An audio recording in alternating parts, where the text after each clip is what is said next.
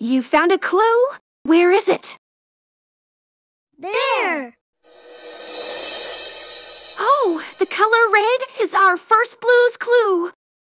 Hey, we need to put this clue in our handy dandy Notebook! notebook, right? I think I'll use my red crayon for this red clue. So, the color red. I'll draw a curvy line around and color it in like this. There, our first clue is the color red. So, what's the best hiding spot that has the color red?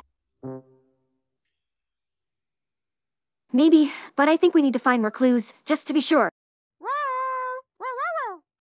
Ooh, now Magenta's hiding. Come on, let's go find her.